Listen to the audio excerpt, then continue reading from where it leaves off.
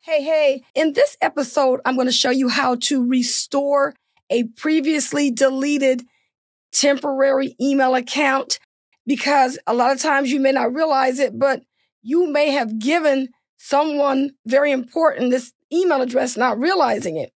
And now you want to restore that same name back to your temporary emails.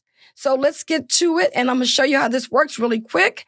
I know that when I was working before, I take you through the settings, more settings, and then the mailbox. So I always show these instructions just in case someone did not get these instructions before because somebody may be coming to my channel that's not seen these other videos.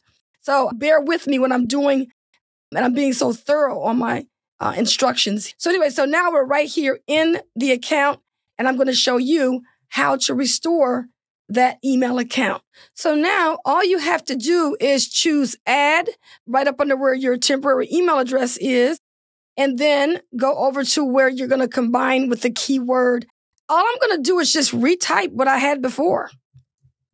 Real estate. I had real estate as my display name and property management. And then all you got to do is choose save. And in this instance, notice how I've got my three free temporary email addresses showing up here. So if I want to create more, I got to go pay for the Yahoo Mail Plus. And this is when you click on the add button, and then you'll be able to choose to add more for $5 a month. You can get these other services, ad free email, you can block unwanted sender domains and you can get more temporary email addresses. All you got to do is just click on check it out. And then, of course, you just got to go through here, follow the screens. You can also try it free for 14 days. So if you want to do that, just to see how it all works out, you can do that.